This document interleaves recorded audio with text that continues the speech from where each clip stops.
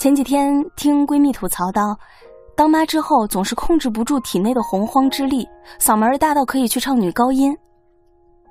成年人的世界没有容易二字，当妈难，当个温柔的好妈妈更难。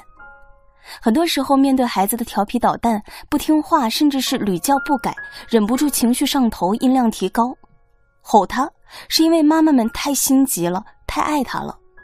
然而，对于孩子而言，妈妈的高音吼叫是恐怖的，给孩子身心造成的伤害是无法磨灭的。因为大多数的吼叫、责备都是惩罚性的，降低了孩子的幸福感。教育专家陈鹤琴说：“孩子幼小的心灵极易受到挫伤，任何粗暴武断的教育方式都是不合时宜的，只有用温和的方式才能走进孩子的心灵。”教育路上最大的劲敌是父母的音量。小孩子多烦人，他们自己心里没有数，不吼就只能打了。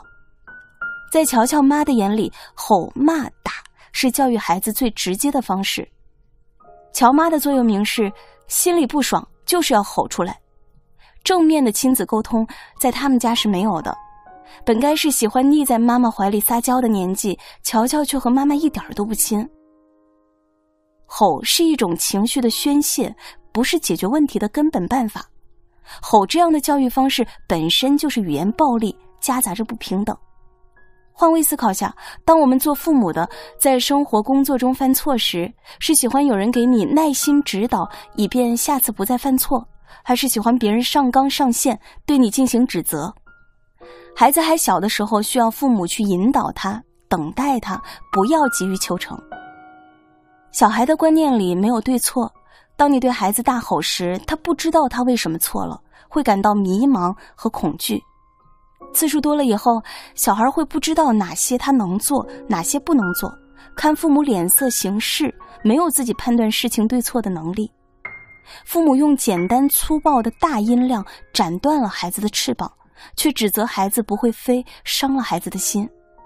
有经验的父母会平等沟通，引导孩子自愿去做事，让孩子感到尊重。最成功的教育就是让孩子做的事正好是父母希望他做的。我们一直提出要尊重小孩但是在管教小孩时又开始展示家长权威。心理学家莫纳舒尔认为，如果父母的管教方式是呵斥和命令。孩子很容易在心理和言辞上表现出攻击性，父母音量越大越吼，孩子越不听话。你让他往东，他偏偏往西，效果甚微。长期在父母这样的教育方式下，孩子会通过磨磨蹭蹭、唱反调这样的方式进行反抗。当孩子也朝着你大声喊叫时，不是他的翅膀硬了，而是你让他受伤了。大吼大叫，有些孩子看似没反应，但其实，在悄无声息中破坏了孩子的大脑结构，伤害着孩子，让孩子的成长受阻。小勇的妈妈喜欢用吼叫的方式逼孩子乖乖就范，导致成年后的小勇性格在潜移默化的向妈妈靠拢，甚至有轻微的创伤后应激反应。他特别讨厌女性用尖锐刻薄的语气和他说话。只要任何人冲他喊，他就会像一头见了红色的牛一样，间歇性失去理智。从小被吼到大的小勇，控制不住自己的情绪，明明知道不好，就是改不了。你的大音量，最终有可能收获一枚缺乏朝气或者浑身充满戾气的暴力青年。父母低声的鼓励，比大嗓门式的嘶吼教育更有效。正面管教书中说到，孩子们需要鼓励，正如植物需要水，没有鼓励，他们就无法生存。孩子们需要成人的鼓励，才能茁壮成长。发现孩子的优点，并告诉孩子非常重要。一旦孩子意识到自己优点，就能产生连锁反应，唤醒其他的优点。教育孩子本就不是一件容易的事，心烦意乱、情绪上头，在所难免。当孩子犯错时，父母没有控制住自己情绪时，冷静过后，把孩子叫到身边，轻声细语的给他讲道理。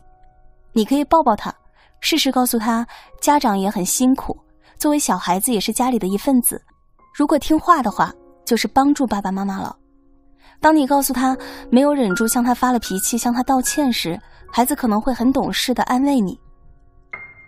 孩子比我们想象的更爱大人，更懂事，他们也会轻易的原谅父母。但是我们父母不要辜负他们，给孩子树立正确的价值观，有助于促进家庭的和谐，大人小孩互相理解。没有天生的好父母，教育孩子时总会遇到各式各样的问题，遇到挫折不解。暴跳如雷，如狮子般发怒，困惑孩子为何不听话。这些情况时有发生。打开育儿的任督二脉，当我们不再暴跳如雷，不再大吼大叫，你会发现鸡飞狗跳式的日子正在消失。